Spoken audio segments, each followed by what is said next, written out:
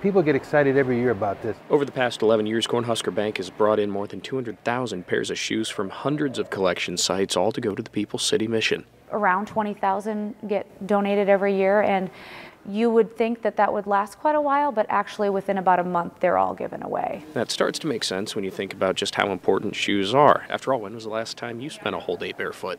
Shoes are a very critical thing for, for most of us, and for a lot of folks, it's a luxury item. You know, to be able to buy a new pair of shoes.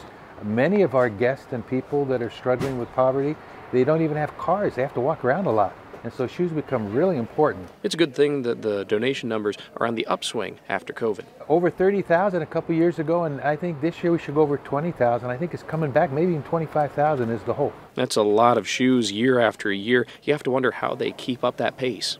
Says a lot about the Lincoln community. You know, we are a very generous community, and, and people here do care about those in need and it shows up all the time. On top of that, maybe some are like Carissa Bullock, and the kids are their motivation. Just seeing those little faces light up uh, with excitement to come in, that's what keeps me going every year, and just um, pushing forward with continuing to collect these shoes for them.